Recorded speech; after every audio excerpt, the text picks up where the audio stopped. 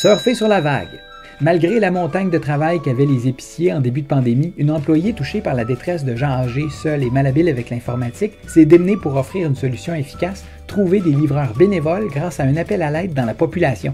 Christine Sirard du Provigo de Ville-Marie. Quand on a commencé à avoir beaucoup d'appels, nous, on débordait déjà. Tu sais Oui. comment c'est complexe faire l'épicerie de quelqu'un d'autre. Même si une quinzaine de bénévoles, jeunes, retraités, profs, mères de famille, ont répondu présents pour servir 65 clients dans le besoin, une règle d'or prévalait. Quand je, je jumelais avec une personne âgée, fallait que la personne s'engage à la suivre jusqu'à la fin de la pandémie. Après avoir inventé puis fait rouler ce nouveau fonctionnement offrant un jumelage stable, une sécurité contre la COVID et une sécurité dans les transactions, un panier cadeau attendait les bénévoles participants qui ont accepté quand même de prendre des risques pour aider des familles qu'ils ne connaissent pas mais qu'ils connaissent maintenant.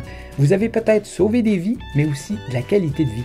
Pour partager d'autres bons coups qui font du bien au moral, suivez-nous sur Facebook.